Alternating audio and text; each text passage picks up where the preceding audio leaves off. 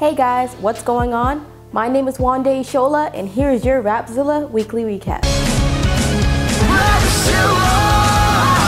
Rapzilla.com.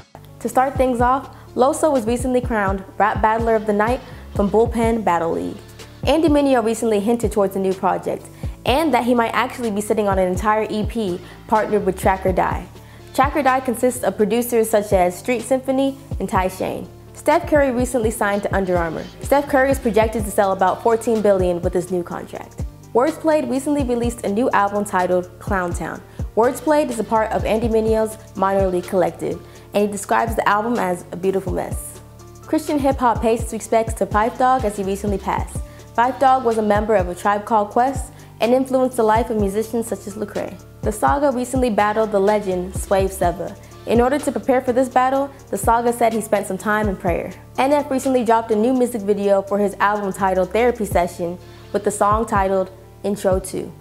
V.Rose recently released new details about her album titled Young Dangerous Heart. This will be her debut album while signed to Inpop Records.